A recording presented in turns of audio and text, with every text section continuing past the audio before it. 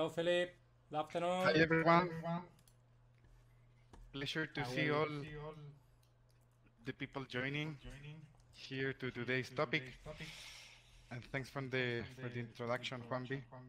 Um, well, I have the mission to introduce to to today's topic. So I will provide you with a presentation on our technology. Um, so let me share my screen. Share the screen. All right.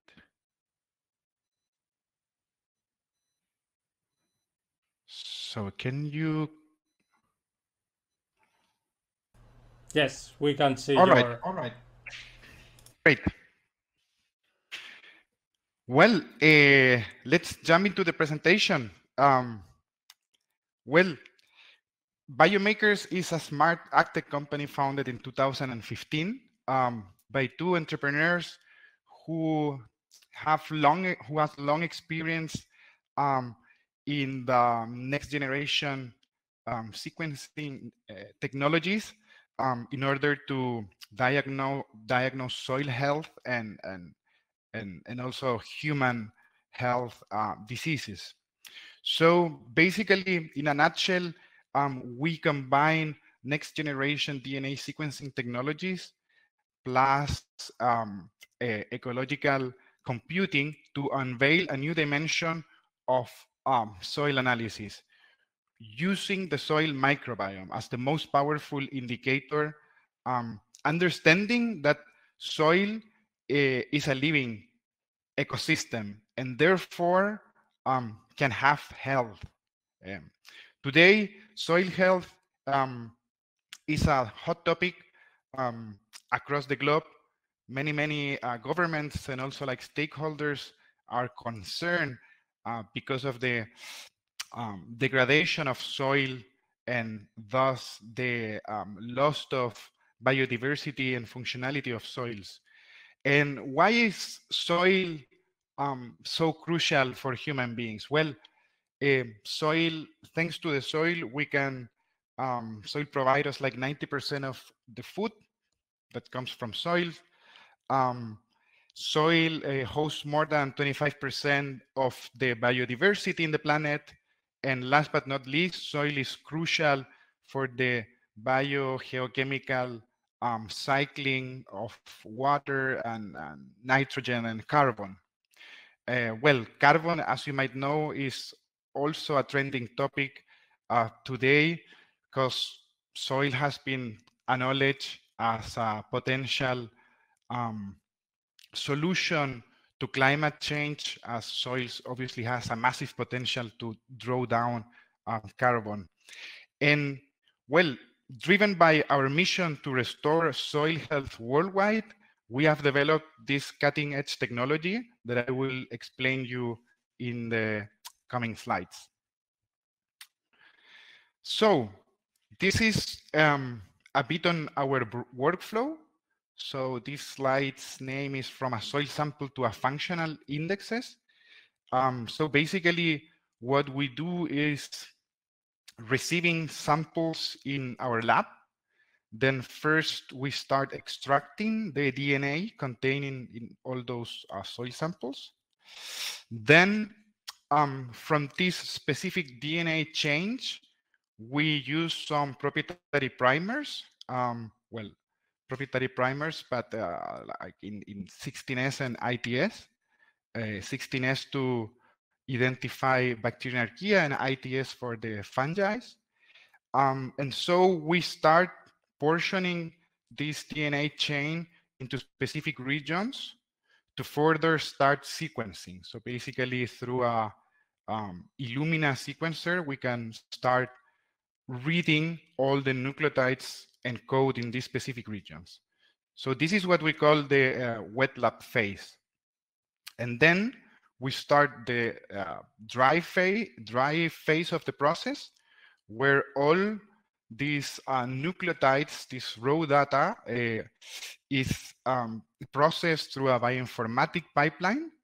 Uh, and obviously, here is where uh, all the intelligent computing comes into the stage and, and, and we can therefore start doing our functional prediction.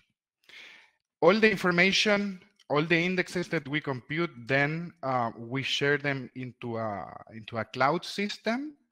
And then we transfer all those results into the uh, BeCrop portal that we have. It's a digital platform where all customers from Biome Makers can have access to it. Uh, we use the soil microbiome as a powerful biomarker, and and we basically um, the different markers that we use to do this uh, functional prediction are mainly three. So the taxonomic biomarkers, so knowing that a, um, a specific sequence encode for uh, encode for a specific um, species, we can therefore um, compute the relative abundance of specific um, uh, species or or uh, or genus uh, in the in in a soil sample, and this is relevant because we um, one of our indexes is related to the disease risk associated to specific pathogens. So knowing that a specific um, pathogen uh, is uh, in a high relative abundance, we can infer therefore that uh, is representing or is uh, presenting a, a, a high um, disease risk. So then we go beyond this taxonomic biomarker and we go um, into the gene uh, into a gene level. So for example, here we have um, the nutrient metabolic pathways. Uh, and for example, knowing that specific enzymes are decoded by a specific DNA uh, sequence, uh, therefore we can basically uh, infer whether the soil microbiome is immobilizing some nutrients in the soil or making them available. In the case of uh, hormones and stress sensing compounds and biocontrol activity, we have Curated database. Um, so basically we have um, scientific repositories uh, so that we can link basically uh, a specific, the presence of a specific uh, um, species in the soil with a specific function. And last but not least, we have a unique approach uh, to assess the ecological networks of the soil microbial communities. So um, we study the co-occurrence and co-exclusion patterns in order to assess the resilience of the soil system. What are the unique selling points of Biome Makers technology? Well, first of all, we have a rockstar team um, with more than 30% of our um, colleagues with uh, PhD degrees. We have, uh, well, from bioinformatics, data scientists, um, bio, uh, biochemical like professionals working hard to develop and, and further develop this cutting edge technology. Um, we have more than nine patents on our technology. Um, so this is on the side of our proprietary tech. Then as we as we have developed a unique standard to assess so soil biology, well, this as soon as you start developing a new standard, you need to benchmark it. So we have today the largest uh, microbial reference database in the world. We have identified more than 7.7 millions of microbes. And uh, we already processed more than 27,000 samples in 150 different crops across 40 countries uh, in the globe. And uh, last, the scientific validation. We believe that it's cru crucial um, to every new technology to have a scientific validations. And therefore, we've been collaborating with academic partners and universities to conduct several studies, such as the one that um, my colleagues will present you in, in, in the next presentations. And, um, and we have more than 120 uh, collaborations with, with those institutions. We always um, make all this information and publications available. So I encourage you to enter into our website and to click on tech validation so that you can have access to all our publications. This is Biome Maker's ecosystem. Uh, on the left side, you will find like all the initi initiatives that we are currently leading. And on the right side is the solutions that I will go um, a bit uh, on, on, on, details in the next slides. Um, just to give you a, a, short like overview on uh, our initiatives. Well, first the Soil Squad. Soil Squad uh, was an initiative launched this year, and the aim is to build a network of professionals that empower this new transition to regenerative agriculture. Um, we are basically providing those professionals with a super innovative uh, learning platform. Um, we grant them also um, some some discounts, and uh, basically we ultimately look to build a network, a powerful network, and to basically to deploy the use of, of BeCrop to spread the use of our BeCrop technology in the in the whole uh, agri-food ecosystem. Then Fields4Ever, well, Fields4Ever um, was an initiative granted by the European Union in 2020, and basically this the this initiative allow us to um, grant access to several partners to our technology um, to validate our technology while obviously building uh, our database. We have committed more than 20,000 samples across the globe. And, uh, and well, one of the success cases will be presented in, in, in the next presentations. Um, so I will jump to the to our products. First of all, um, I will talk about BeCrop. BeCrop is becoming the standard to assess soil biology worldwide. Um, BeCrop assess, we have more than 40 different metrics, but in a nutshell, uh, we assess the biodiversity of soils. Uh, we assess the functionality, uh, meaning obviously all those microorganisms present, if they can perform a function or not. This is uh, highly crucial.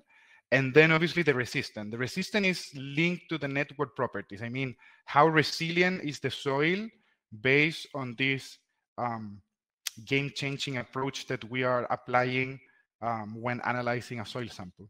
Then we have the health chapter where we assess um, the genetic potential of the soil microbiome to produce biocontrol agents, such as biofungicides, bioinsecticides, and so on. The hormone production, um, all the plant growth promoting compounds such as the gibberellin, such as the auxin that can obviously have a major impact on the abiotic uh, and biotic um, stress like toleration of crops. And then the stress sensing adapting compounds such as, for example, the exopolysaccharide production um, and so on. And then last but not least, we assess the nutrient metabolic pathways of major and minor uh, compounds. So uh, in the whole nutrient metabolic pathways, you have like several enzymes, as I mentioned. We can therefore, uh, assessing the, by assessing also the relative abundance, we can therefore um, compute or infer whether the soil microbiome is making forms of nutrients available or not. Our new BeCrop 2.0 includes a new cutting edge like indexes such as the fun fungi to bacteria ratio, the a new soil quality index that it's based on the network properties, and uh, an absolute quantification of bacterial fungi. Um, this is uh, has been like a big effort, and you, we included basically a DNA spike uh, technology to obtain this absolute quantification. We have uh, all our customers have can have access to agronomic digital tools. So once um, once they sign up as a, as a customers, they can have a free access to our BeCrop portal where you have like several agronomic tools um, to benchmark uh, the results and, and well, several, several other tools to enhance decision making. And, you know, we have several cases uh, with, with BeCrop. Um, basically, a lot of customers are assessing low and, and, and high yield paddocks, looking at a new dimension of information. They can tailor plant protection programs by knowing, obviously, um, better details about the, the, the, the disease risk. Uh, terroir characterizations in vineyards is, is, we have like several cases doing this, obviously knowing a specific microbial arrangement in the soil, this can lead to um, a specific terra characterization based on the soil microbiome and so on. This is what is BeCrop all about. It's a all-in-one genetic assessment. Um, and here I will briefly mention just a user case. In this case is um, a case in Salinas, California with the Brussels, Brussels sprout where the farmer realized that something was wrong because he was applying um, high rates of NPK fertilizer, but those fertilizer were not obviously being um, uh, plant available. So he did like several BeCrops, and we realized that actually the nutrient competition indexes were high for phosphorus, potassium, and sulfur.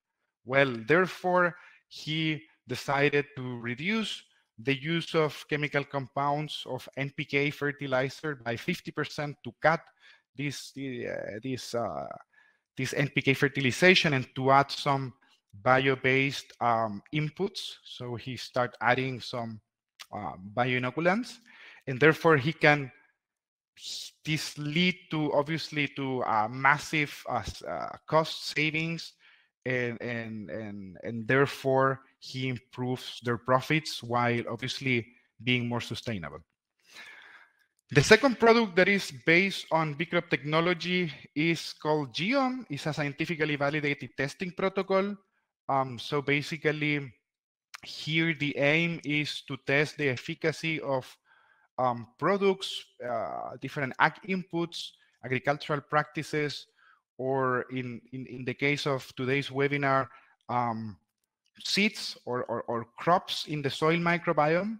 So um, depending on the customer's questions that they may want to solve, we have different programs. So for example, we can test the effect trends of a specific product. So to test basically if the claim of a product is to solubilize phosphate, we can do that um, probably in one location. Uh, then to respond to the question like, why is my product performing uh, more efficiently in, in, in, a specific soil and climate condition?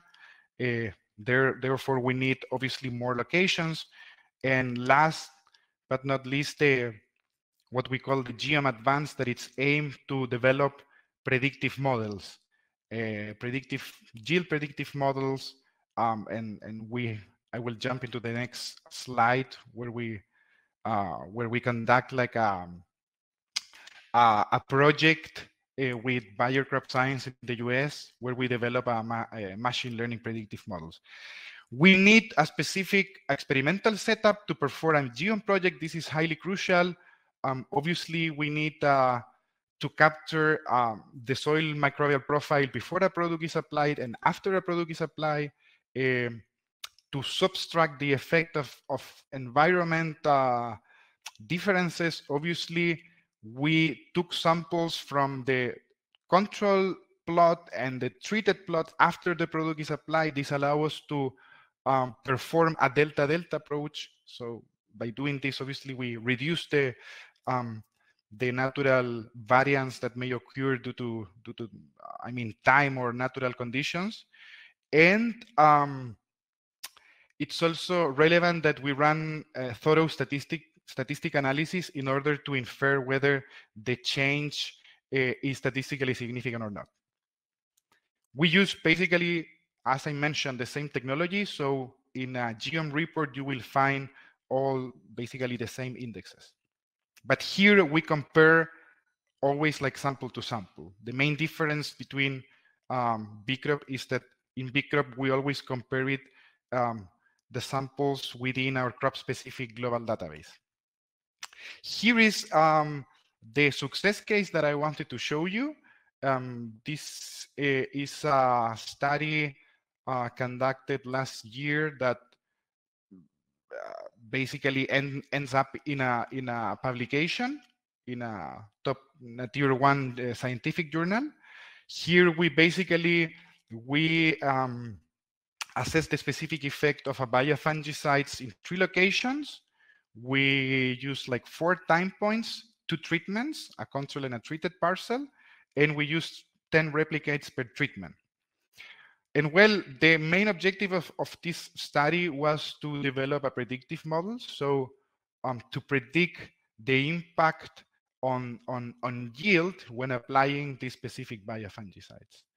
And basically, what we what we develop is a super accurate predictive model with a eight more than 84% of accuracy. So basically, this allow by, um, Bayer crop science to tailor the product recommendation, to automatize the product recommendations based on this uh, machine, machine learning like algorithm. And this obviously uh, is a game-changing project because therefore Bayer can ensure the return on investment when selling these specific biofungicides. The new the product new that product we are that launching, we are launching um, today, today is, uh, is uh, BeCrop Rate. It's a game-changing um, sustainable farming rate based on the soil network properties. So this is based on our publications that we um, published uh, last year. And basically, it's, um, it's a sustainability um, uh, sustainability uh, certification um, based on the on the on the network properties of the soil microbial communities. So uh, I would I also I, I, always like to explain this in a supernatural in a super uh, easy easy to understand way. So as as soon as we start obviously shifting and and and and uh, using you know fertilizers and agrochemicals in a in a, in a, high, in a high pressure the, the, the, soil, the soil microbiome then obviously, to, to, to make specific arrangements. So in this case, if you see the chart here, you see an ecosystem where all those um, taxons tends to form like clusters. Um, um, you see Sorry, that, uh, um, yeah. Yeah. Sorry, we it's half past five, and we have right. two more right. presented. So okay. you you have like two minutes left no uh, worries, no worries. I'm, I'm, sorry, I was I was not checking my my time. Uh, so basically, this new BeCrop rate, as I said, is uh, based on the network properties of soil um, uh, microbial communities. Uh, it's independent of crop and geographic locations, and it's obviously based as we aim to ensure a high resolution. It's based on a certain number of samples per field, per block, or per farm this is my last slide. So basically, this uh, this project that our uh, next presenters will uh, address, it's within the frame of our Fields4Ever initiative. We have conducted more than 180 projects. We have granted more than 25 uh, samples, and uh, obviously with several partners that engage in this in this uh, initiative. This is this was my presentation. We are empowering a data-driven agriculture all across the value chain. And here you can find some of our um, customers uh, today. Thank you so much.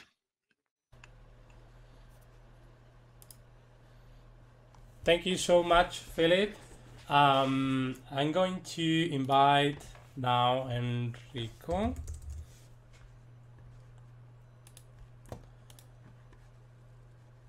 And I'm gonna I'm going to remove you. Uh, however, at the end of the session, we uh, you are gonna have a brain, you know, um, answer and question session with Enrico and Roberto. So I'm going to remove you, Philip.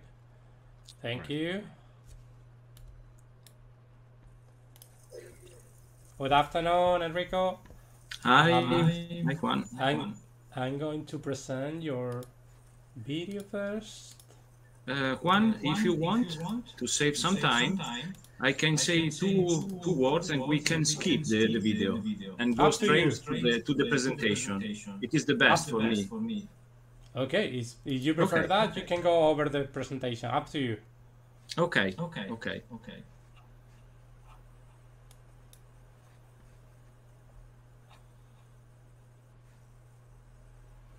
So hello, hello everyone. My warm welcome. Um, first of all, let me show something about the Unimore, University of Modena and Reggio Emilia, and more specifically the PhD course that is hosted by our university and that uh, hosted our research. Uh, Modena and Reggio Emilia are two cities in the north part of Italy, in the middle of the Po Valley Plain, in between Milan and Bologna. And our PhD course, as you can see uh, here, deals with the production, processing, quality, and safety of agricultural raw materials and foods. Uh, the teaching board is composed by 21 uh, researchers and professors and uh, host even eight uh, researchers from abroad. So let's start with a presentation that is just an introduction that I'm pleased to summarize some of the challenges that are faced by the maize community in our country and around the world, as well as the opportunities offered by the new technologies and knowledges of the soil microbiomes. Italy and France have historically been two major producers of corn in the old continent. Um, from about 30 million tons of grain produced in the year 2000, just to give an idea, they represented 50% of the European production of corn. In the recent past, uh, we have witnessed a shift toward eastern countries of both cultivated areas and total production. Hungary, Romania, uh, along with Russia and Bulgaria, are now the main producers. However, corn is a fundamental crop for Italian agriculture, is still a fundamental crop, especially in the deep, fertile soils of the traditional area of the Po Valley, which represents the Italian corn belt. 94% of the total Italian production comes from the top 33 provinces. And notwithstanding the high yield per hectares, when analyzing corn production over the past 10 years, a large yield gap could be observed with some variability from region to region. The ideal condition for raising corn are now challenged in view of the changing climate. So from a brief comparison of the thermal trends of the last 60 years eh, in our region, Emilia-Romagna region, it is possible to observe an increase of 1.4 and 0.8 degrees Celsius for maximum and minimum temperature during summer, respectively. Despite no significant variation in total rainfall was revealed, an increased probability of summer days, tropical nights, and heat waves combined with erratic rainfall distribution is expected for the future. Okay, so from a crop physiology point of view, the difficult challenge of crop productivity is the result of a three-way interaction between environmental factors, genotypic traits, and cultivation techniques. In fact, in open field condition, maize production depends on the total amount of photosynthetically active radiation that reaches the Earth's surface that the crop is able to intercept, efficiently convert it into dry matter, and fractionate it in the harvested grains.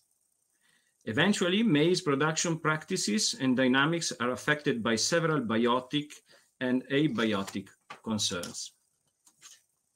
The concept of sustainable intensification applies when agricultural yields are increased without adverse environmental impact and without the conversion of additional non-agricultural land. On the, on, the one hand, we have relatively little time to understand the molecular basis of adaptation. On the other hand, an increasing opportunity is represented by the combined management of the chemical and biological fertility of the soil, thanks to the role of the beneficial microorganisms. The prerequisites for achieving greater sustainability through the use of soil microbiota are the complexity and dynamism of agricultural systems, the potential contribution of any type of farming system, the general positive effect deriving from the management of soil microbiota in maize production. It has been demonstrated that plant growth promoting rhizobacteria, PGPR, and arbuscular mycorrhizal fungi, AMF, can play important roles in mineral nutrition and in secondary metabolism modulation, leading to increased resilience and tolerance, crop yield, and also food quality. The complex plant-soil microbiota relationships are not easy to understand for all crops. However, it seems that environmental conditions, as well as soil microbial communities, affect all plant traits in both positive and feedback direction. To conclude, we can propose a simple 3E rule, exploring, enhancing, exploiting soil microbiota can be an effective way towards greater sustainability. And the PhD project we have undertaken in the public-private partnership between our university, Unimore, and Corteva could represent an interesting example of gaining knowledge about the maize-soil microbiota interaction. Thank you.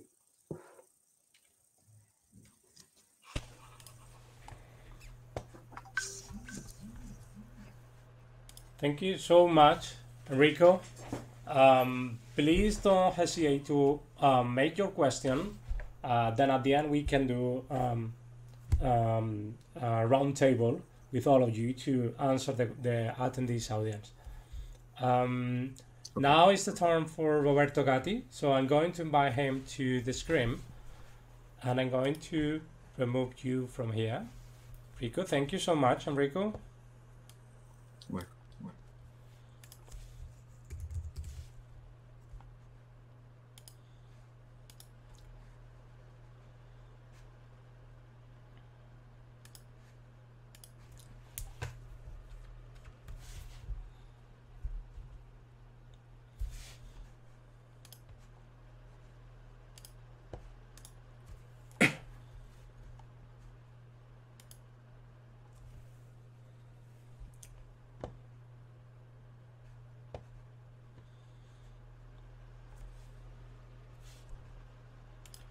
Hello, good afternoon, Roberto.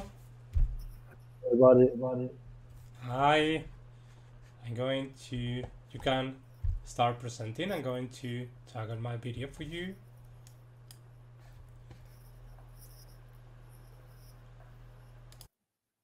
Okay, do you see my screen? Yes, yes, yes, yes. Okay, great. So good morning, good afternoon, or good evening, everybody. Uh, before starting uh, to speak about the project, I would like to spend a few words to introduce myself and the company I work for. Uh, my name is Roberto Gatti. I am working for Corteva AgriScience. I am part of Corteva's European production research team uh, with the main responsibility for, this, for, for Southern Europe and the aim to improve uh, seed production, uh, seed quality, and seed sustainability uh, in that area. What about Corteva AgriScience? Corteva is a top player in the agriculture industry. Uh, despite being formally uh, rather a new company, officially founded in 2019, it brings with it a long tradition and heritage uh, of three uh, agricultural leaders. and namely, we are speaking about DuPont, who has a long history in protecting uh, plants for crops from, uh, from pests. We're speaking about Dow, who has experience in both crop protection and seed business. And about DuPont Pioneer, who was uh, who is world leading uh, seed business. And all of them combined together form uh, Corteva AgriScience. Corteva is a global company. It's active in uh, about 140 different countries, employing 21,000 colleagues. It serves more than 10 million uh, different customers, mainly farmers, and works on uh, more than 100 different crops around the world. I want to mention uh, the Corteva's sustainability goals because uh, this project is tied to those goals. Uh, the sustainability goals were released by Corteva last year, and this is a list of 40 different uh, goals, uh, measurable goals to be obtained by 2030. And those commitments span across the globe and across the entire business. They are not just tied to the environment, but they are also uh, tied to the people that directly or indirectly interact with the Corteva, and mainly to farmers or to uh, our communities. I would like to just mention three of them, uh, which are the, decreasing greenhouse gas emissions, improve soil health, and enhance biodiversity, because those um, goals are strictly tied to the project I'm, I'm about to speak. Let's speak about the project uh, we worked on during uh, the past uh, few years. This project was possible thanks to the Fields4Ever initiative, Biome Makers in, initiative. So thank you, Biome Makers, for that. And thank you to the precious collaboration uh, of uh, Unimore and uh, yeah, and to their precious support on this. I would like to uh, tell uh, a few details about the projects we worked on. Uh, this, we worked on an experiment focused on seed corn production. So we are speaking about inbred lines and not hybrid corn in this case. One of the characteristics of inbred lines, among others, is that phenotypically, they are much weaker than hybrid corn. They are shorter, they are less tolerant to stresses and less efficient on using nutrients. And this is something to think about when we uh, speak about those results. And uh, they are also able to highlight differences in case of stresses or uh, difficult conditions. Our main goals were mainly to improve production sustainability, improve seed yield and quality, and ensure production reliability, which is another very important thing. The project was concentrated in the Po Valley in northern Italy. The Po Valley is the big plain marked in the map on the right, uh, which is the main corn production area in Italy. Uh, in Po Valley, we have several different soil types. Uh, one of the characteristics there is that we have a very intensive agriculture and it's quite a fragile territory, mainly due to uh, problems related to nitrogen leaching uh, to groundwater and, and, surface water as well. Uh, here I'm going to give you some details about the experimental procedure. Uh, we, we, targeted four different uh, inbred lines as representative of our production portfolios. For each of them, we identified five different locations across northern Italy. As a total, we had uh, 20 uh, different locations. In each of them, we had a standard soil analysis in order to precisely understand the soil characteristics in any of those locations. And then we had a sampling, a soil sampling tied to, to microbiota characterization. For this sampling, we defined uh, one sampling time, which was the same for all the location, and it was uh, during seed maturation when the grain was at around 50 to 40% of moisture. Uh, in each location, we collected 10 subsamples, five of them from bulk soil, and five of them from rhizosphere soil, meaning the soil uh, in close contact with the corn root system. Then we shipped all our samples to Biome Makers for microbiota characterization. So let's speak uh, about the results of our study. Uh, it won't be possible for me to go very deep into the details because, as you can understand, some results might be, uh, I cannot disclose everything, but I'm going to share some basic and very interesting uh, findings uh, of this uh, project. First of all, the geographical characterization. Uh, as you see on the map, had three different uh, main sampling areas in northern Italy. And we wanted to understand if there were uh, significant differences in terms of uh, microbiota in those three different uh, areas. As you see from the plot on the right, uh, for two of them, the blue one and the green one, there were practically no difference. They are almost completely overlapping. But one of them was pretty much clustering apart. And that suggested that there is an overall uh, different uh, microbiota in those uh, in that area. And the interesting point in that case was that that's the area where we reached the highest yield uh, in terms of final results. The second result is about uh, core microbiome. Uh, an interesting finding was that uh, independently of the genetic, independently of the location, there was a, a core microbiome that was uh, almost the same in any situation. This is especially true for bacteria. As you see, the heat, the heat map is quite uh, well defined. It's a bit more confused for fungi, but overall, uh, the core microbiome was almost the same. So practically, we can suppose from this uh, result that the main difference is in the secondary uh, uh, taxa in terms of abundance. Another interesting comparison was uh, when we compare conventional versus organic uh, management. Uh, in these pictures, you can see a score level that was calculated by Biome Makers uh, as a measure of the overall uh, biodiversity in our soil samples. In the left picture, you see the score from the conventional uh, location. This, the C score is a typical score for intensive farming practices, and it is exactly what we were expecting from, from those samples since they were from conventional agriculture. The second picture on the, on the right is showing uh, a B score. This is from the organic uh, location. Uh, this is not typical from organic agriculture. This is more typical of integrated farming.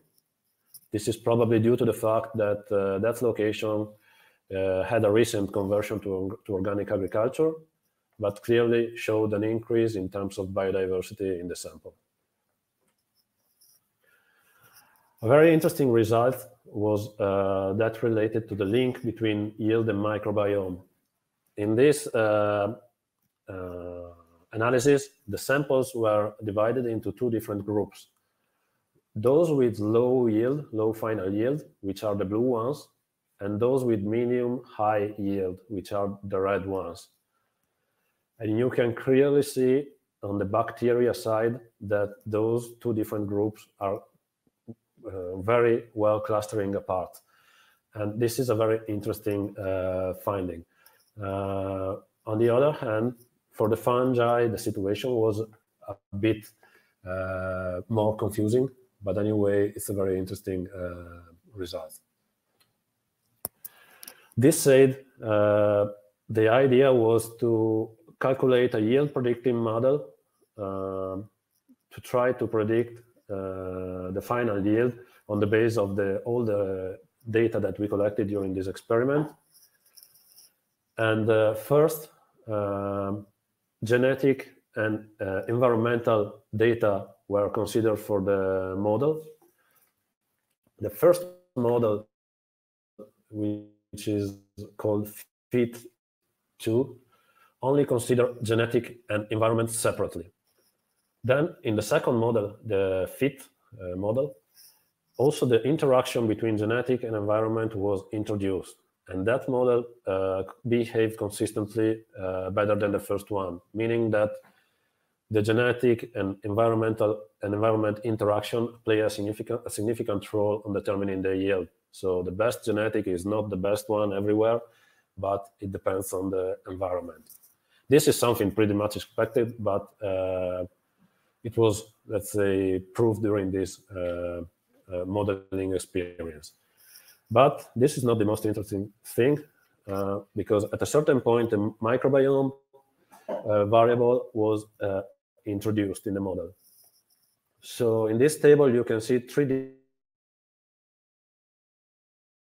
different categories of variable. The microbiome in the first column, other variables mean the most significant event of microbiome, environment, and genetics. In the model number one, only environment and genetics were considered. And uh, this model uh, was able to explain almost 74% of yield variability, which is a good result. And, but the most interesting result uh, at model number two, uh, only microbiome was considered excluding all the other uh, things. And it was able to explain 91% of the total variability, which is amazing. In model number three, all the different uh, parameters were considered, and we reached 98% of accuracy, which is a very high level of accuracy. Other remarkable findings are that some species tend to be more abundant in low yield samples, some other in high yield samples. I cannot go deeper into the detail mentioning them, but this is, as you can imagine, uh, an important information. and I would like to conclude with some consideration about the importance of these uh, findings for seed production sustainability and the importance of soil microbial communities for seed uh, production sustainability. Soil microbial communities have an environmental importance. We know that very well from the literature. Uh, the soil is a big reservoir of carbon, and the soil microbial communities play uh, a critical role on defining uh, the destiny of that carbon, its storage, but also on its degradation. So it's very important to focus on them to uh, control the greenhouse gas emissions. What we can do uh, to promote soil microbial uh, activity and uh, biodiversity. One of the things is to promote practices to maintain a high level of microbial biodiversity. I think I'm thinking about, for example, those practices that lead to an increase of uh, organic matter in the soil, and also, for example, to the use of uh, uh, cover crops in order to keep the soil always covered with mm, with a with a crop uh, all along the year, and to ensure optimal condition for soil microbial communities to thrive also uh, when the during non-productive uh, season. But also we know from the literature, and we understood very well from this study that th those soil microbial communities have a critical importance also for, uh, for crop production. And they can help us uh, in many way and we can take advantage of them in many way. One of those uh, uh, one of the things we can do is to uh, better uh, understand them and get information in order to better drive area selection seed production area selection grower selection and field selection to produce only in the best condition or in the best production area and they can and the knowledge of soil microbial communities as we saw from the study can help us uh, on that. They can help uh, us guiding product positioning. So uh, positioning different products and different genetics in the best conditions. We can take advantage of useful microorganisms in order to reduce inputs and in this uh, case i'm speaking about both uh, using external externally applied microorganisms and also uh, taking advantage of naturally present microorganisms or creating conditions for them uh, to be useful to us. And this way we can also better drive fertilization inputs, um, as we also saw in one of the slides that were presented before, um, so that we can save money and we can save, uh, we can reduce the environmental impact of our uh, activity without losing uh, yield uh, and, uh, and production performances. And this is all from my side. I would like to thank you all for your attention. And I would like to say a special thank you to Biome Makers for making this uh, project possible and provided us all the analysis related to it, both lab and uh, statistical analysis. And also I would like to thank you, the University of Modena and Reggio Emilia, namely uh, Professor Francia, for the precious collaboration on this project. Thank you very much.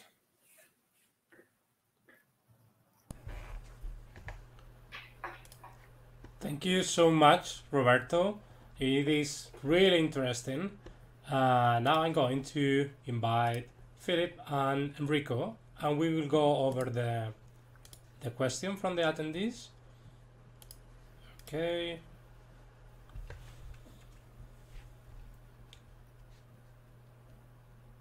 There are only three questions. Um, just for the attendees, if you would like to to do any question to our speaker, just type on the ask a question section and uh, they will answer right now.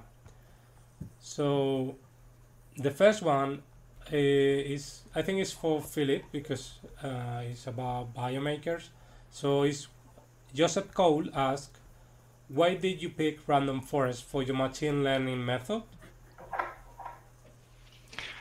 Um, um Hi, um, um, this is it's a it's a hard question because I um, I was not involved in, in such project, but um, you can I can I can share with you an email and I can give you like a detailed explanation about the reason why we use uh, this uh, random predictive model. But unfortunately, I don't have the, the right answer. so please just if you like, um, just write us um, an email on on biomaker.com um, or, or I can provide uh, Philip your email just to contact you. Uh, Luis Sousa um, asked, have you mo- have you models for grapevine? So I think it's uh, related to GEOM technology, uh, GEOM service. So Philip. Um, if we have like models for grapevine, I mean, as I mentioned in, in, in one of my slides about the different applications of the BeCrop technologies, um, we've been doing and we have like several success cases in characterizing terroirs based on the soil microbial arrangements. So basically, if knowing if comparing like a specific soil microbial arrangement within our database, we can infer that there are like specific conditions in this terroir, basically using the soil microbiome as an indicator. So we capture obviously the specific, specific specificity of, of this environment based on the on the soil microbiome. Okay. Then we have another question from Ted Hinton. Will results indicating best management practices be shared with the public or will they only be shared with entities that commission the studies? Example, if an input company determines that their products in their soil health, can they hide the evidence from producer? I think it's, this one is for for you, Roberto and Enrico, because it's related with the project. And yeah, I can answer on that, I think. And th those results will be clearly uh, analyzed, and uh, some of them cannot be disclosed because uh, they are part of a non-disclosure agreement. but uh, part of them uh, will be those not strictly related to the business will be uh, uh, shared and uh, they will be part also of a scientific publication. Yeah. Anything I to... Okay, so next question is from Erica Lumini. Um, she said she asked, uh, "What about M- AM fungi? It is a it is it a problem of ITS primers which are not the best for AMF detection?" Good, good question. Um, actually, uh, we are testing. Uh, we are. We've been testing, obviously, the our proprietary markers in the case of ITS, in order to compare these uh, primers with other ones, and we do believe that the those markers have a good uh, precision. Um, to go beyond uh, the species level detection. Uh, but obviously, you have like several primers on the market. This is our technology, and instead of like just focusing, this is this is a bit on on. Uh, one of the main competitive advantage of Biome Makers is that we, instead of just focusing on specific markers to detect specific microorganisms, we tend to, um, or we like to think the whole soil microbiome as an ecosystem where all those microorganisms interact with each other. So getting this full picture of, of the ecosystem and functions obviously is a key advantage when analyzing a soil, an ecosystem of, of living microorganisms. Okay, so we have two. Well, we have three more questions. So, um, Doug ask us, it is well known that the timing of soil collection during life cycle of the crop is important for understanding the microbiome. What was the timing for soil collection that is recommended for the results from Corteva? So after you, Enrico or Roberto. In our Yes, we case, selected the timing of sampling in accordance with Biome Maker. Uh, also remember that maize has a relatively short uh, time for development in the field. So uh, we selected the, um, the flowering time as the most useful uh, plant developmental stage that let enough time enough time to the plant to stay in the soil and to attract and contact microbiota, the microbiota, and then from the flowering stage on, you have the grain filling period. So it is the most uh, important phase for the seed production, for seed quality, seed germinability, and seed viability. That's for my part. Roberto, if you want to add, feel free. No, that's exactly the same that I wanted to say. Yeah, no, nothing to add. Yeah. Okay, so we go for the next one. Uh, I think it's for Roberto. So Michael Kluenkang uh, asked, Roberto, you mentioned to foster locally available microorganisms to better match yield and inbreed line performance. Are there any specific measure that you suggest? It's hard to say at this stage, in my opinion. Uh, we we understood some potential uh, locally available microorganisms, um, uh, but uh, about specific measure, uh, I'm not sure I can give you an answer at this time. This will be uh, the further step for the study. Today, what we did was the, the first step to understand the differences. the only thing that I can think about is to focus on those soil where some certain species are, are available. But more than this, at this time, I think I cannot I cannot say.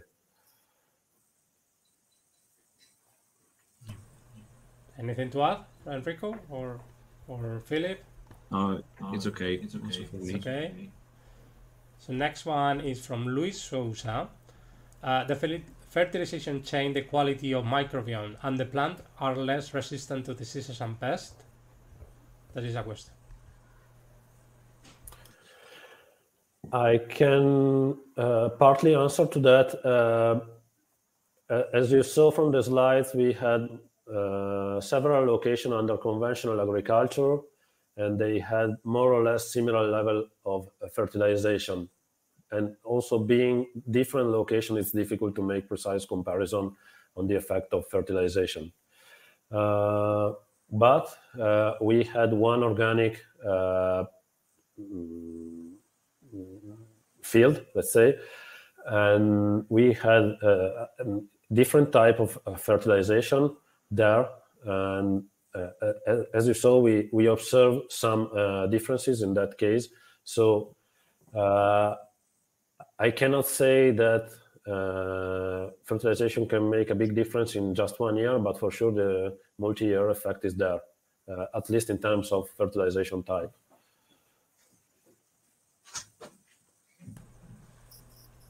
Okay. So just to add, just to add on top of that, something Juanbi, um, like several several studies has demonstrated that the overuse of NPK or uh, chemical fertilizers can lead to a shift in the microbial uh, microbiome and thus obviously affecting the whole functions of the um, soil microorganisms present in a, in a soil. So for example, there was a study um, in, a, in a top top uh, top journal that basically shows that the overuse uh, in, in, in, in annual crops of like uh, synthetic nitrogen, in, the, in this case was urea, lead to a basically uh, to a higher relative abundance of denitrification bacteria. And obviously this can lead to a lower uh, nitrogen use efficiency in the end. So and uh, this is just one example, but obviously, if you think about the resilience of a soil, always uh, crop protectants and high use of uh, chemical chemical uh, compounds such as fertilizer with high salinity can lead obviously to a less resilient soil. And this is what BeCrop, our BeCrop rate technology, this BeCrop rate sustainability index is measuring, how this disturbance is impacting um, the resilience of a system.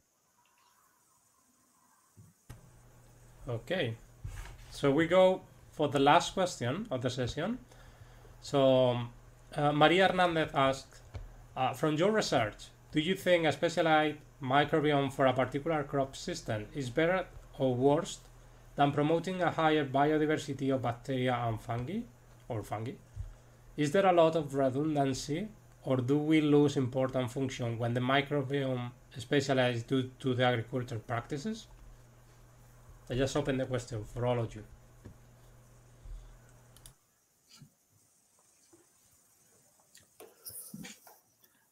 If I can start, uh, I will say that the we should consider the, the microbiome uh, like a sort of library, not just of um, species, but of biological functions.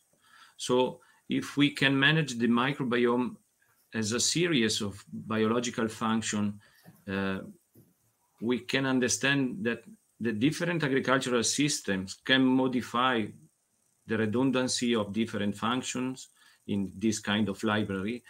But what we could do is to manage it, increasing or trying to increase some of the functions that are more relevant for the crop performance. That could be a possible way to manage it.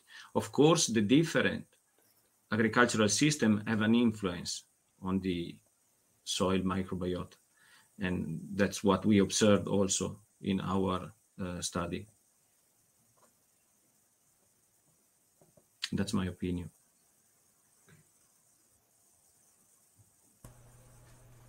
Anything, anything else to add? No, it's fine.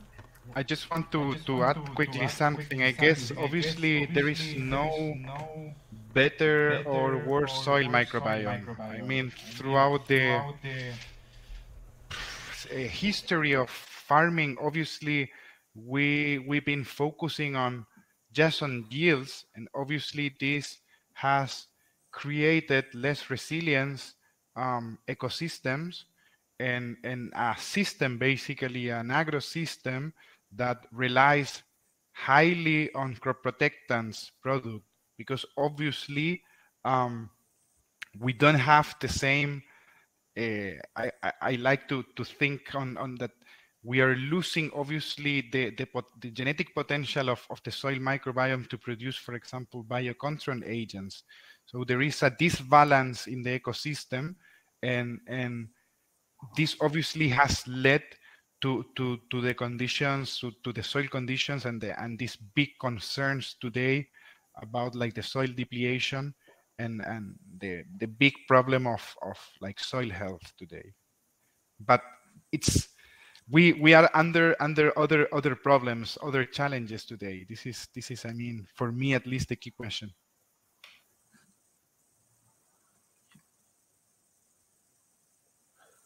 If i can uh, give my answer to this uh, question uh, not being a microbiologist uh, i think uh, it depends a lot.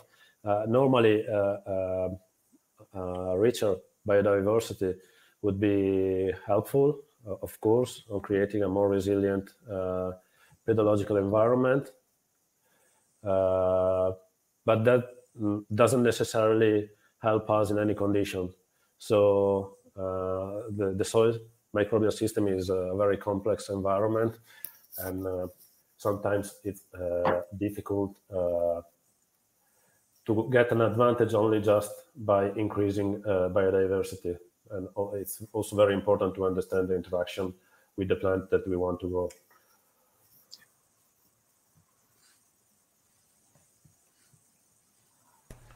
Okay, so that was the last question. So thank you so much, uh, Roberto Gatti, Enrico Francia, Philip. Uh, thank you so much. It was really interesting. Uh, as I mentioned in, in the beginning, um, this uh, webinar is has been recorded, so it's going to be sent to everyone uh, maybe next week, and and that's it. We will send you after the the webinar. We'll send you to all of you a survey just to give us your feedback about new topics or how do you feel about this webinar, and that's it. If you would like to contact us, just go to uh, Biome Maker website, uh, or you can contact Roberto and, and Enrico through the email that they shared. And that's everything from me. So thank you so much to all the people and the attendees. Thank you, everybody. Thank you. Thanks so much. Thank you. See you. Have a nice, Have a nice day. Bye bye. bye. Ciao Roberto, ciao Enrico.